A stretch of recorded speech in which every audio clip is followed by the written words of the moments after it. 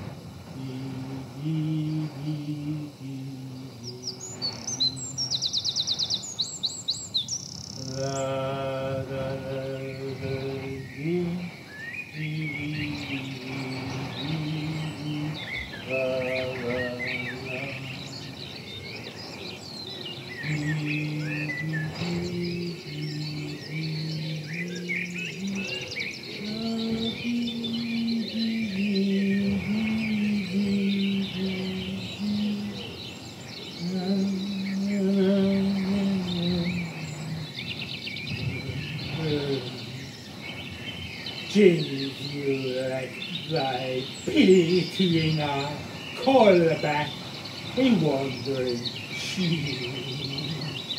False to thee like Peter I would fain like Peter we. Let me be by grace restored, on me be all long suffering shown turn and look upon me, Lord, and break my heart